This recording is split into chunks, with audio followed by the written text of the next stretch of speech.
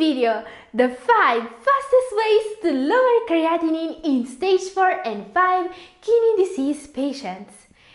If you have kidney problems, you should never lose hope. There are remedies and therapies that work. Katherine from Double O Kidney here. Welcome to our journey together to a better kidney health.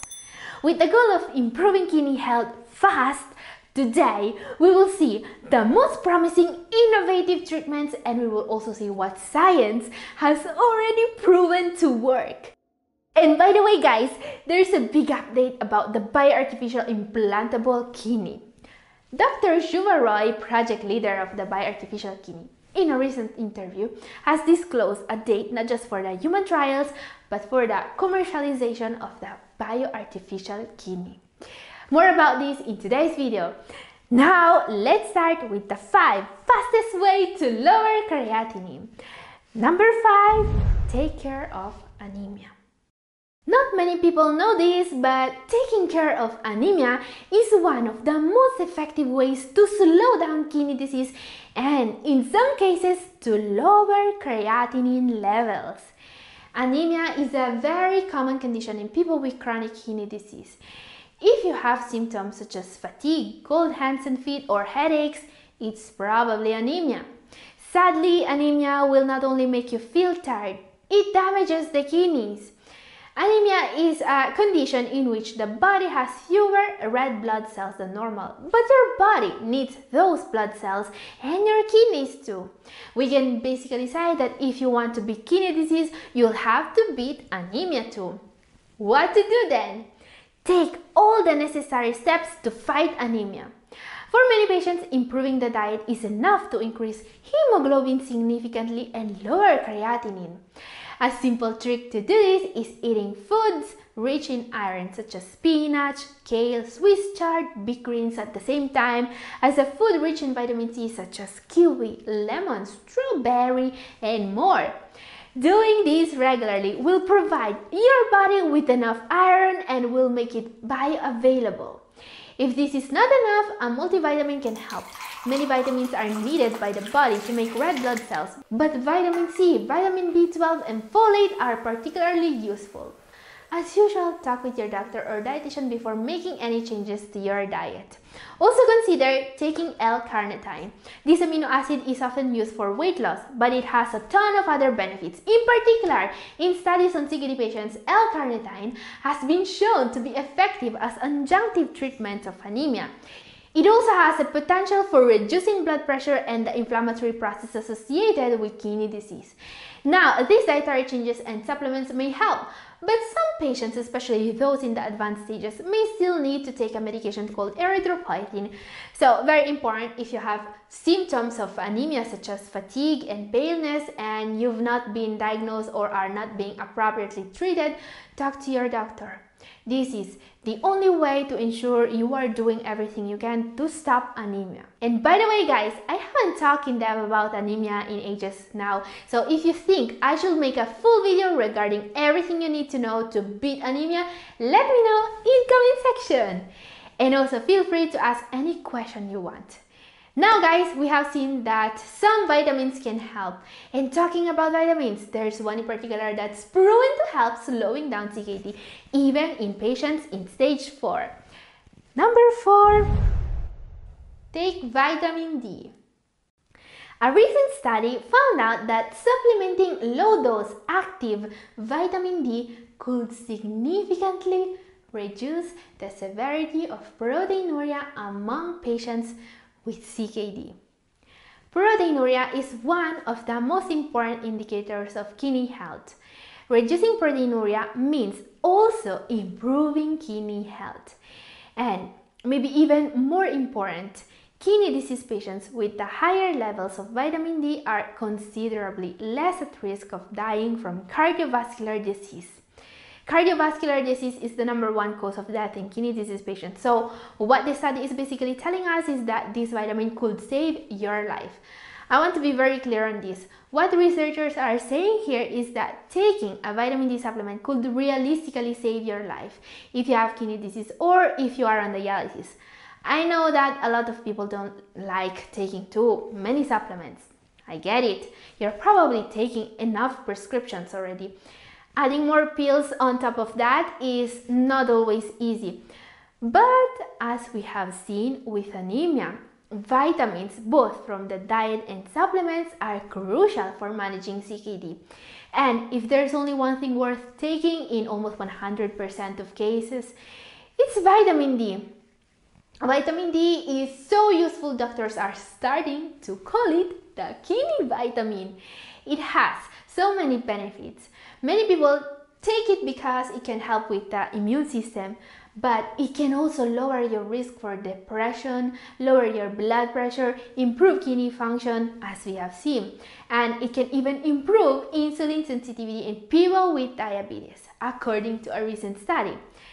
No other vitamin alone can boast all these incredible properties. This is why I'm firmly convinced that if you are only going to supplement one thing, you should supplement vitamin D in its active form.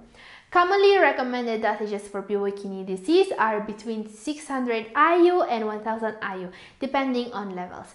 Patients on dialysis are usually recommended to take 2000 IU per day instead. Vitamin D supplements are very safe. Still consult your doctor before starting to take it. Now guys, here's what you have been waiting for. As promised, there's a big update regarding the artificial kidney development.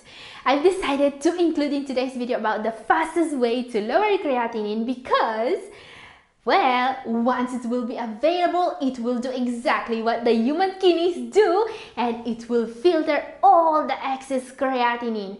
And this is not just theory. And there's a big update directly from the Facebook page of the Kidney Project, the group of researchers led by Dr. Shuvo Roy that are working on the artificial kidney.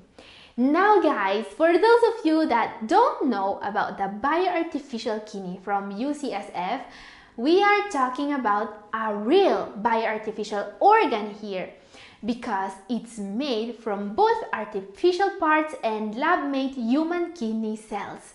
Once ready, it will be able to do the job of the kidneys completely the bioartificial kidney is going to be the size of a coffee cup and consists of two modules that work together and that are powered by the human body. Once implanted, the bioartificial kidney won't need any external power and it's meant to be permanent without the need for immunosuppressant drugs. By the way, these are the first images online of the final product. Cool, isn't it? It's composed by two parts as you can see. I'll keep this simple, I don't want to bore you. However, the first part here is the hemofilter. It basically does what the dialysis machine does. It removes toxins and scores from the blood. They have already tested it on animals and proven that it works. Now, the human kidney does way more than just filtering the blood. It's involved in many essential processes such as assisting with blood pressure and hormone production. That's why there is also a second component in the bioartificial kidney, the bioreactor.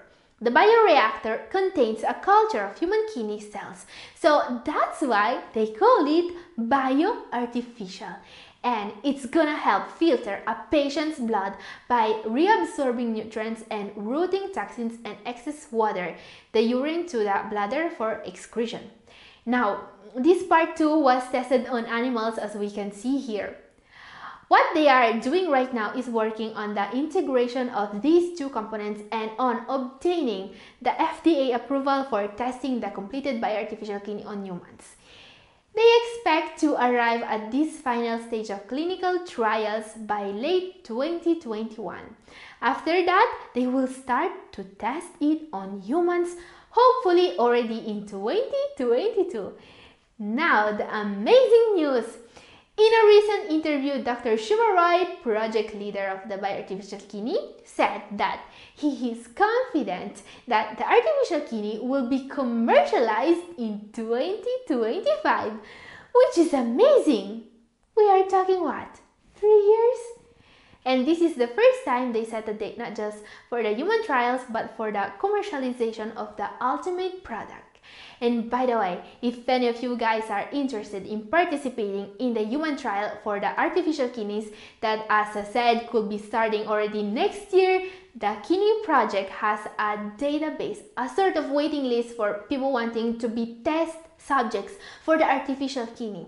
You can find all the info down in description. Now, here is something you can start using right now. This is a very powerful remedy that was tested on stage 4 and 5 kidney disease patients. Number 2. Astragalus. Okay, this adaptogen was proven to be incredibly effective remedy against the progression of kidney disease. In a study published on prestigious paper, astragalus extract was able to lower creatinine levels of stage 4 and 5 kidney disease patients. In particular, after just 3 months of therapy with astragalus, creatinine levels were on average significantly better with astragalus. Patients in stage 4 were also able to keep these improved levels for 6 months or more. And this is amazing! Taking astragalus was also beneficial for the other most important levels for CKD such as BUN, GFR, and proteinuria. Astragalus has several benefits that could explain the significant improvement in kidney function. According to several studies, this adaptogen can help lowering blood pressure and blood glucose levels, the most common causes of kidney damage. It can also help improving the immune system and protecting the kidneys from infections. Now, the interesting part about astragalus is that it's already widely used to treat several conditions thanks to these benefits. So you won't have any problems finding it right now in herbalist shops or on Amazon. It's also very cheap to do a three months treatment, you will have to spend around 15 to 20 dollars. The dosage used in the studies I've mentioned is 2.5 grams of extract per day. But don't forget to consult your doctor if you want to try this remedy. Number one, the alkaline diet. Fact Eating alkaline may be enough to effectively lower your creatinine levels and slow down or completely stop the progression of kidney disease. This is what the study published on the Journal of Renal Nutrition found out.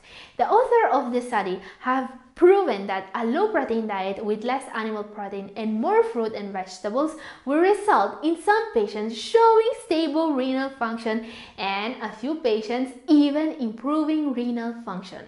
The author of this important paper thinks that regression of CKD may be possible for patients following an alkaline diet. Now guys, I recently made a very interesting video about the 7 habits you will need to develop to turn your diet into an alkaline one. Watch it now if you have missed it. It's up here. And a new video is coming next Tuesday. I hope to see you there. In the meantime, keep taking good care of your kidneys and be good to yourself. This is all for today. Thank you for watching.